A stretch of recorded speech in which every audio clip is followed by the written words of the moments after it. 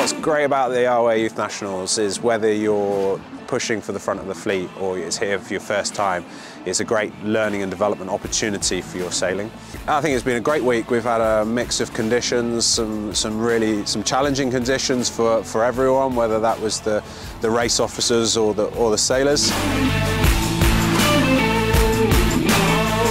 Really good communication through the, uh, through the app, which I think works really well. There's been stuff on every day for everyone. There's workshops and stuff for parents throughout the day. And it's also good to sort of get at an event with all the other classes, see what classes are out there. All in all, it's a really good event to come, come to. I think that it's really good that I can like meet, meet all my old friends who I was in like the junior classes with and it's just a really great week of racing to round up like the winter training. Come along and enjoy it. It's competitive racing but it's also like when you come on land everyone's just so supportive so it's just really good. Yeah. Yeah, I agree. Come and do it.